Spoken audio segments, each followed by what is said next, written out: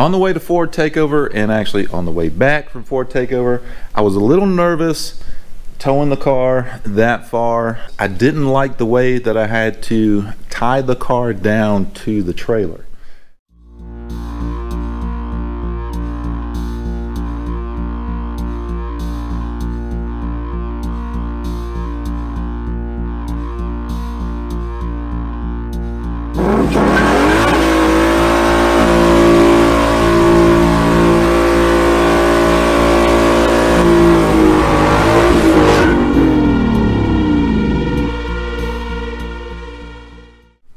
What's going on and welcome back. So I'm out in the shop today, want to kind of give a little update on Project Stepchild. We've got some parts coming in, some parts to help us run better at the drag strip, some parts to lighten up the car a little bit, and the part I want to discuss and hopefully install today will help us get the car to the drag strip. Now let me explain. On the way to Ford Takeover and actually on the way back from Ford Takeover, I was a little nervous towing the car that far because of one particular reason. And that reason is I didn't like the way that I had to tie the car down to the trailer. Now I was able to tie it down and the car was secure but I didn't like the way I had to do it. The way I had to do it was the hooks, so to speak, whatever you want to call them, on the end of the strap that would actually hook to the car. I had to have the hook upside down. Normally I like to have the hook this way so that if the strap loosened up, it's still hooked on. I used four different holes, obviously, in the chassis um, that was in some pretty good spots and reinforced. But like I said, the hooks were upside down and I just didn't really like that didn't care for for how I had to do that. Um, the car was secure but I always had in the back of my mind that you know at any point if one of the straps came loose the hook could fall out and that could cause some major issues when towing a car. So hopefully we're going to eliminate that with this kit and let me show you what I've got to do that. So I went ahead and bought the Ford Performance S550 Mustang tie down kit, which you can see right there. I went ahead and bought this from LMR. They actually had it on sale. Um, not like a huge sale, but enough off of it to where I was like, yeah, let me go ahead and get it and see if I can get it to fit. Now, I say see if I can get it to fit because there's one thing that I need to show you that may get in the way. Let's see if I can get you down here without having to turn you sideways. Hopefully I won't have to, but I'm gonna shine a light here. Maybe you can see, uh, let me turn you sideways. If you can see that right there, on this car I have jacking rails. So the problem with that is a lot of these tie down kits don't fit with jack and rails. But I decided to buy the kit anyway. I think the rear ones will bolt on no problem. It uses existing holes in the chassis, so that's not a big deal. It's, you don't have to drill anything or do anything like that. The problem is though that the front holes that the front tie down brackets use is used by the jacking rails. I think the rear is fine, but I need to take a look at it and find out for sure. So let's do that. Let me get the car jacked up with the jacking rail and we'll take a look and see what we've got. Now this is what's cool about these jacking rails is you can jack up the entire side of the car from one spot anywhere on the rail. The whole side of the car can come up so it makes tire changing easy. If you're running a square setup, all you have to do is unbolt them, swap them front to back, do the other side and done. I do like the jack and rails and I use them a lot. So I want to keep them on the car. I don't want to get rid of them just to put these tie down brackets on there. But we'll see what we've got to do. Let's check out the rear first. I want to take a look at that and um, see if it'll go on with no problem. All right, so here we are. This is the back of the car. As you can see, the tire here, we're on the passenger side. And I wanted to show you where this goes. This is the rear one. And we're good to go in the rear. So that's good news. And it is gonna go, as soon as I can get under here, it's going to go right here. And my hand's kind of in the way. But this is where it's going to sit. It'll bolt up to these holes. As you can see those holes, there's one here and one here. So let's get the bolts and uh, let's actually get this one up there. Uh, it won't take but a second. All right, so we're gonna get this one up there. Um, the instructions do call for a little bit of blue Loctite. Now don't go crazy on your Loctite. Uh, a little bit goes a long way. You can see this. I'm not putting a lot on there, but enough to where it's gonna hold that bolt in there and hopefully not let it go. So, see if I can fit my fat head in here and let's get this one bolted up.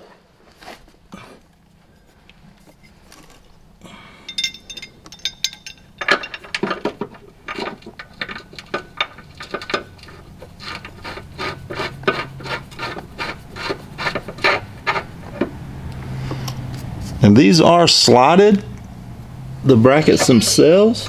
Um, not exactly sure why, but because it doesn't seem like there's a lot of adjustment in these. Because this one's all the way against the hole. I can't really move the bracket back and forth so why they're slotted I have no idea honestly but the holes in the chassis, they are already threaded. So all you need to do is put some Loctite on, run these up, and you're good to go.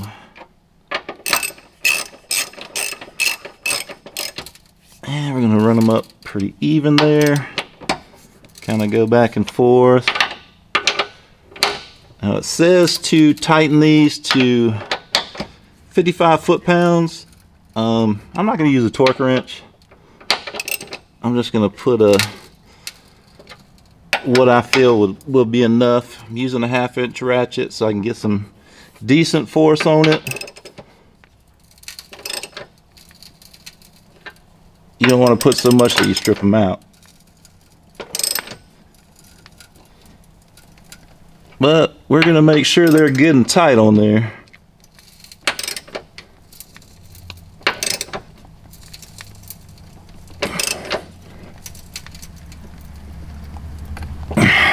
All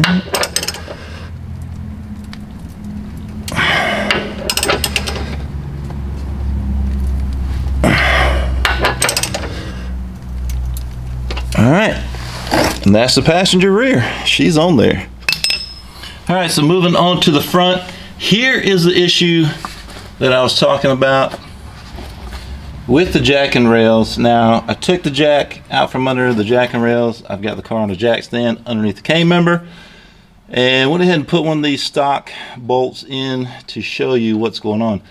Basically, what's happening here is this part of the jack and rail is interfering with the tie down bracket. So that's what they're talking about. That's why they say it might not fit with jack and rail. So I believe these are the Steeda jack and rails, the original ones that came out. I've had them on here for years and they've taken quite the abuse, I must say, but they work great and I love them, so I want to keep them.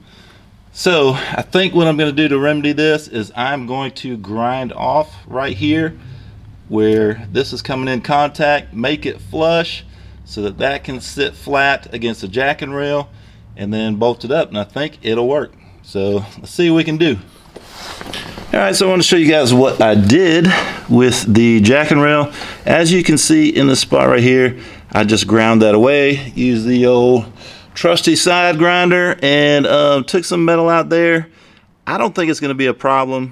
Once these jack and rails are bolted up, you know, it just brings the jack and rail flush against the underside of the car. You can still use it. It's not like it's under major stress or fatigue you know, with these bolts. So cutting that away, I don't think is going to affect it. Now, I didn't want to cut the tie down bracket because that is something that needs to stay like it is in the shape that it is and as much materials on there. So I didn't want to sacrifice that part, but we can sacrifice this because it's not under a lot of tension. And once you jack up on any part of this rail, it's forcing against the entire length of that against the bottom of the car. So not a big deal. So let me shoot a little bit of paint on there. As you can see, they're kind of rusting up anyway, but let me shoot a little bit of paint in that area just to kind of uh, keep it from rusting any further. So I'm just going to shoot a little bit of black paint on it, no big deal. Just to cover the spot that I grinded off. So that's pretty thick coat, huh? anyway, good grief. I think that'll do it. So this stuff is really cool. It dries pretty quick, so we'll give that just a second while we put some Loctite on these bolts and get them ready to go in. Now the bolts I do want to talk about, they are long enough. Um, they will go up through the bracket and the jack and rail, no problem. They are plenty long enough, so not too worried about that. All right, so I think that is long enough time to dry. Like I said, it dries really quick. And let's get these up here.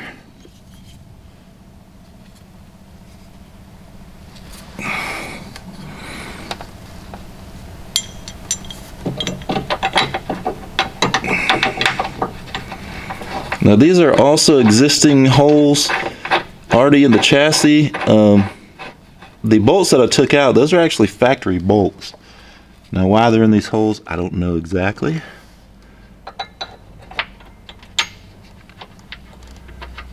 But they are in there. So to install jacking rails, you just take them out, put the jacking rail up, put them back in.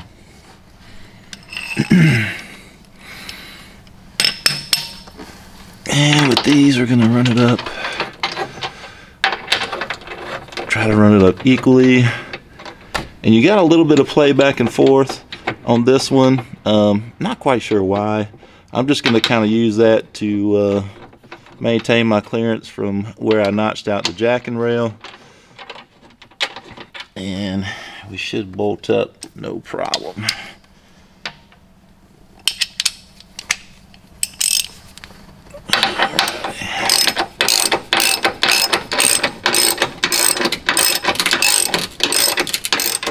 So as you can probably see, it is pulling up the jack and rail along with along with it. So the jack and rail is sitting nice and flush against the bottom of the car, like I said. So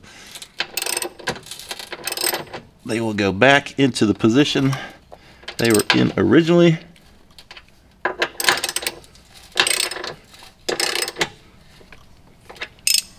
And okay, we're not hitting there.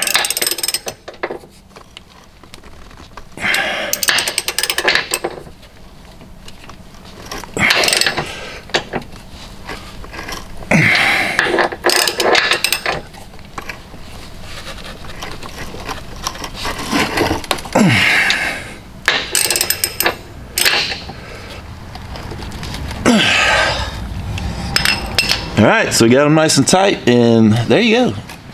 Front one is on, not too much of a modification that I had to do, so that's awesome. All right, so I want to get you guys a look from the side. These do hang down a little bit, but I want to get you a look like kind of straight from the side so you can see about how it hangs down. Now I might have to use my flashlight here because you can hardly see it. Now you see it there, so now you can see it. It's right there. I bring you straight looking on from the side there, I mean, you can barely see it. It barely hangs down from there. So as far as ground clearance goes, I don't think that's going to be an issue. And from what I'm seeing, what I'm looking at, not going to be a problem. That's awesome. All right, so on the front here, I want to show you the side view. And you can see the tie down right there, right here, hanging just a little bit. Hopefully I won't run into any issues with that, uh, speed bumps or whatnot. I really hope not. That would suck, but hopefully, hopefully they won't. I don't think they will. I don't think it'll give us too much problem. But there you go. They don't hang down too bad. But that will allow me to get that hook on top of it rather than underneath. All right, so there you go. A simple little modification. Um, something that's going to be very useful for me in traveling to the track, whether it be local or out of state or whatnot. Um, it's really going to give me a better feeling um, of security with the car on the trailer because I was pretty worried about it. Um, you know, driving to Tennessee and back for Ford Takeover, but I think we've got that issue resolved. Um, I think this is going to work out awesome, actually.